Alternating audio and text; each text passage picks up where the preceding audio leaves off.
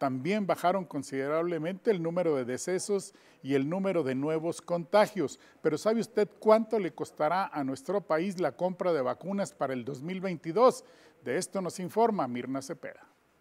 registró un marcado descenso tanto en el número de decesos por COVID-19, con tan solo 221 fallecidos comparado a los registrados diariamente hasta el pasado sábado, y también en el número de nuevos contagios con los 4.161 casos confirmados el lunes. De tal manera que el total de fallecimientos que reporta la Secretaría de Salud en el comunicado de este lunes es de 267.969 muertos totales desde que llegó la pandemia nuestro país y de 3.516.043 contagios totales, mientras que la curva epidémica bajó a menos 14% con 82.203 casos activos del virus SARS-CoV-2. En tanto, la ocupación nacional hospitalaria en promedio se redujo un punto, por lo tanto, en camas generales se ubicó en 41% y en terapia intensiva en 37%, informó la Secretaría de Salud. También el lunes en la Ciudad de México, el secretario de Hacienda y Crédito Público, Rogelio de la O,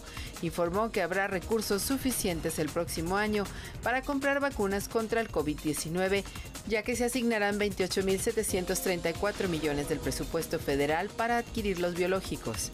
fue uno de los cuestionamientos en que coincidieron la mayoría de los grupos parlamentarios de oposición durante la comparecencia del funcionario en el Senado para la glosa del tercer informe de gobierno del presidente Andrés Manuel López Obrador. Sí tenemos recursos, respondió el funcionario quien detalló que hasta la fecha se han destinado 33.424 millones de pesos para la compra de vacunas para prevenir los contagios por COVID-19 y el presupuesto del 2022 será de 28.734 de pesos. Con información de agencias y de Jesús Jiménez para Despega con Chuchuy, Mirna Cepeda.